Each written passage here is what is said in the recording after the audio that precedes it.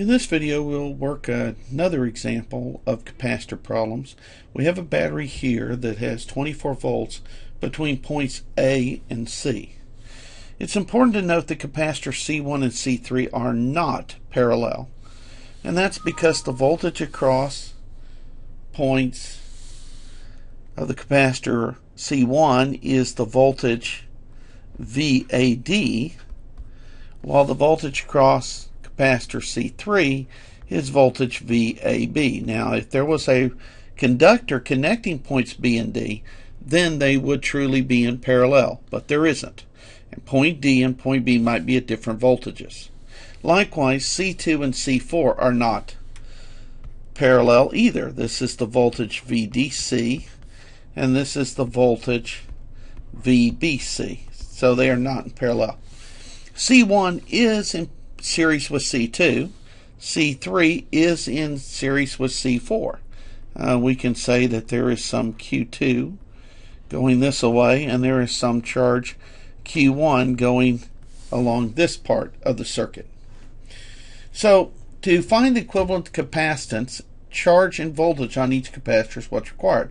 We'll start by simplifying the circuit down to a single capacitor. To do that, we note that C1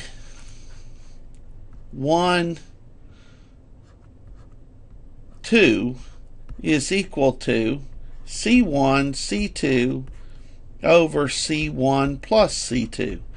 Uh, they're in series and there's two of them, so we can take advantage of our little rule. Uh, we find that that's 1.4 times 3.5 over 1.4 plus 3.5, all that in microfarads. And we punch that into a calculator. 1.4 times 3.5 divided by 4.9 and we get that that's one microfarad. And that makes sense. It's less than either of the capacitors that we started with. And then we know that 3 and 4 are in series so we can combine 3 and 4. C3 with 4. And that's C3, C4, C3 plus C4. This time we've got 2.1, 2.8 over a total of 4.9 microfarads. We punch that into a calculator as well.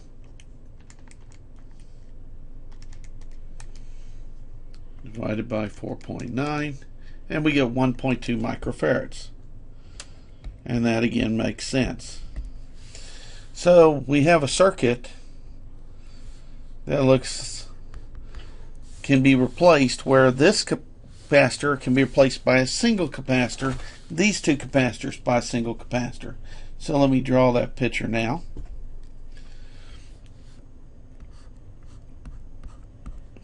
I have 24 volts.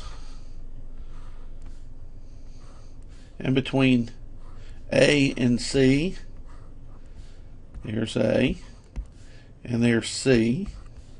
I have a 1 microfarad capacitor. And over here I have a 1.2 microfarad capacitor this one has charge Q1 going down it. This one has charge Q2. Now, we now know that Q1 is equal to 1 microfarad times 24 volts by capacitance definition. So that's 24 microcoulombs. That means that there is 24 microcoulombs going into both C2 and C1. We also know that Q2 is equal to 24 volts times 1.2 microfarad.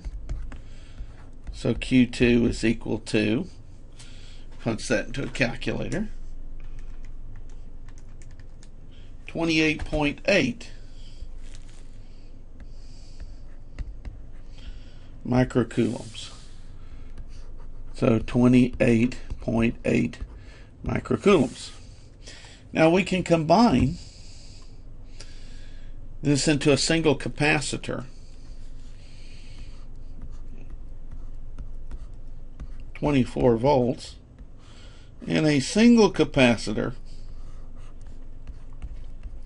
which is equal to 1 microfarad plus 1.2 microfarad is equal to 2.2 microfarad. So there's the total capacitance. I've already found the charge on each capacitor back up here. I know that there's 24 microcoulombs here, a minus 24 microcoulombs there, 24 microcoulombs on C2, minus 24 microcoulombs on the negative plate, 28.8 microcoulombs positive plate of C4, minus 28.8 on the negative plate, 28.8 negative plate, and 28.8 on the positive plate. I now can find the voltage because I know the capacitance and I know the charge. So VAB is equal to C3 times 28.8. Uh, unfortunately, running out of little paper here. Let me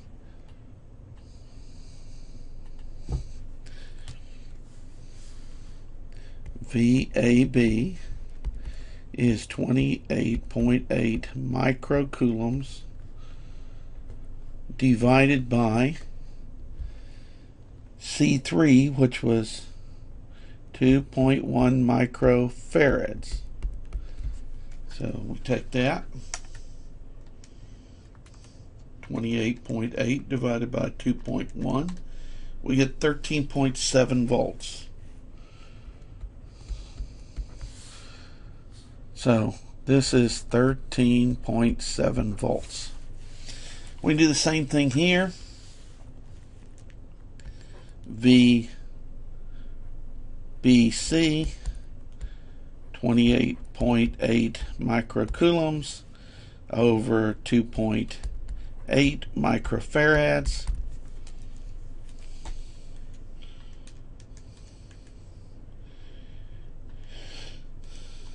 We get 10.3 10.3, 13.7 gives us 24 as it should. Likewise, we can do the same thing up here. VAD, 24 microcoulombs over 1.4 microfarads.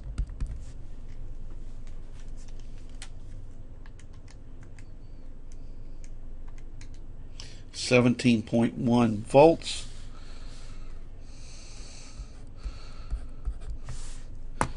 And the last one, VDC, 24 microcoulombs over 3.5 microfarads. 6.9 volts. And when you hit 6.9, 17.1, you get 24 volts. Reduce the thing to a single capacitor when you have a single capacitor and you know the voltage across it, you could find the total charge. By the way, if we did that, 24 divided by 2.2, then what we would find when we did the whole thing is that we would produce 52.8 microcoulombs, the sum of these two Qs. Use your knowledge of these nodes to work backwards. For instance, this Q coming out of here and going into point A is the same Q going into point A in this diagram. It's the same Q going up in this diagram. Likewise, you can use the voltages. So work from the bottom, write all the drawings, and then work your way back up the top, filling in what you know. That's the way to be good at doing circuits. All right, we'll see you in another example.